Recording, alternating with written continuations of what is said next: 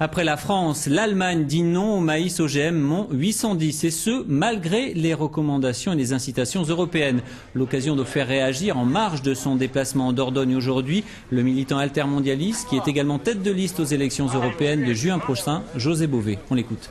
C'est une excellente nouvelle euh, pour les paysans et tous les consommateurs européens l'Allemagne rejoint la France, rejoint la Grèce, l'Autriche et donc la Hongrie. Ça c'est vraiment une très bonne nouvelle. La semaine dernière déjà le Luxembourg avait décidé de mettre en place un moratoire. Maintenant l'Allemagne. C'est vrai que ça montre que de plus en plus de gens sont concernés et que les gouvernements ont compris que les OGM n'avaient aucun avenir dans l'agriculture, que ces OGM pesticides étaient un danger, bien sûr pour l'agriculture, mais aussi pour les consommateurs.